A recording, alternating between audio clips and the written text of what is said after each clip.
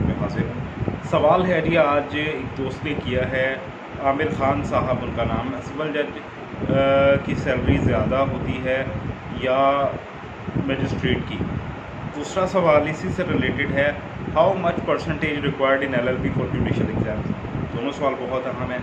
दोनों के ऊपर बात करेंगे आज के इस टॉपिक में। जनाब सैलरी का जो सैलरीज होती हैं जजेस की, वो रिवाइज़ कर दी गई हैं 2021 में।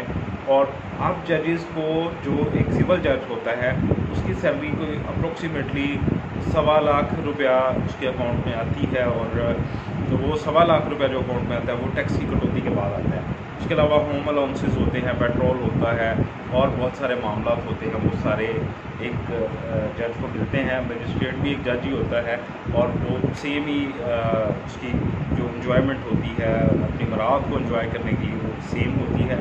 दूसरा सवाल बहुत अहम है, इसके बारे में बात करते हैं कि एल में आपने कितने नंबर सेव करने हैं सिक्योर करने हैं, अगर आप चाहते हैं कि आपका जो दाखला है, वो आप भिजवा सकें, आपकी एलिजिबिलिटी बन सके जुडिशल एग्ज़ाम्स के लिए जुडिशल सर्विसेज़ जुडिशल एग्ज़ाम्स और एक जज का जो रुतबा है, वो बहुत ज़्यादा हाई है और उसके जो वर्किंग है, वो वो भी बहुत एक काबिल अतमाद है।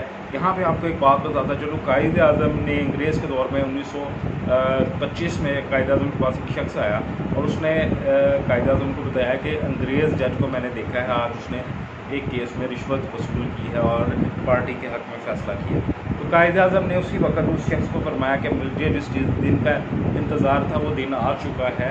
और अगर अंग्रेज़ जज पैसे लेना शुरू हो गया है तो फिर अंग्रेज़ जो है वो अपने सफ़ों से इंसाफ को कायम नहीं रख सकेगा।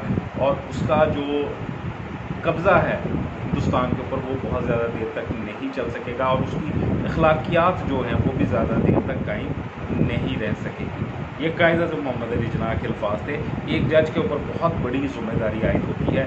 एक जज के बारे में अल्लाह ताला जो कुरान पाक में इर्शाद फरमाते हैं ये है कि इंसाफ करने वाला शख्स क़्यामत वाले दिन अरश बरी के नीचे होगा। और अरश बरी कोई आम बादलों कोई आसमान नहीं है, कोई आम अर्श नहीं है, जिस तरह हम घर से बाहर निकल के ऊपर देखते हैं, अरश बरी बहुत बड़ी चीज़ है।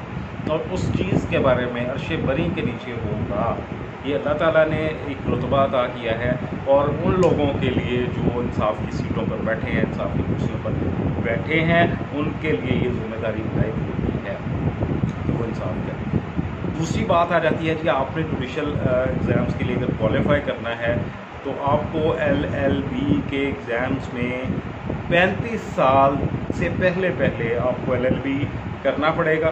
और 35 साल तक आप जुडिशल एग्ज़ाम्स के लिए अपना जो रिज़ल्ट है वो जो एडमिशन है, वो आप भिजवा सकते हैं। और उसके लिए आपके पास दो साल का तजर्बा होना बहुत ज़रूरी है। दो साल के तजर्बे के बाद आपको Pakistan bar council Punjab bar council high court का लाइसेंस इशू कर देती है। आप एलिजिबल होते हैं। और एक हाई कोर्ट का वकील जब आप बनते हैं, आप एलिजिबल तब ही होते हैं कि आप जो है वो जुडिशल एग्ज़ाम्स के लिए क्वालिफाई कर सकते हैं उसके लिए क्राइटेरिया दे दिया गया है कि आपकी उम्र पैंतीस साल से कम होनी चाहिए, अट्ठाईस, तीस, बत्तीस साल तक आपकी उम्र होनी चाहिए। और आप एक बार जिस शहर से, अगर आप लाहौर, टोपा, फैसलाबाद, रावलपिंडी, इस्लामाबाद, किसी भी बार में, किसी भी डोमिसाइल्ड बार जो आपकी है, जिस शहर में आप रहते हैं, उसमें आपका रजिस्ट्रेशन होना ज़रूरी है। और वो दो साल का अर्सा जो आपकी प्रैक्टिस का गिना जाएगा, और वो आपका आपकी बार काउंसिल में मेंबरशिप के बाद गिना जाएगा। लाइसेंस ले लेते हैं और लाइसेंस लेने के बाद आप मौजूदा बार के मेंबर नहीं बनते तो आपका जो दो साल का अर्सा है, वो कंसिडर नहीं होगा। मतलब आपने आज लाइसेंस 2019 में लिया है, लेकिन आप बार के मेंबर बनते हैं 2021 में। तो आपका जो अरसा स्टार्ट होगा, वो 2023 में जाके पूरा होगा मेरा ये बात आपको समझ आई होगी। एलएलबी में जनाब आपको नंबर 50 फ़ीसद नंबर आपको 50 परसेंट नंबर एग्रीगेशन के हिसाब से टोटल मार्क्स जो एलएलबी के फ़र्ज़ करें, अगर 1500 नंबर हैं तो साढ़े सात सौ नंबर कम अज़ कम आपको चाहिए होगा। आप आपकी एलिजिबिलिटी के लिए 50 percent mark you have to secure for the eligibility of the criteria to send your admission as magistrate और उसके लिए आपको सिक्योर करने होंगे पचास फ़ीसद नंबर एल बी में, फिर आपकी एलिजिबिलिटी जो है वो बन जाएगी कि आप इस चीज़ के अहल हो।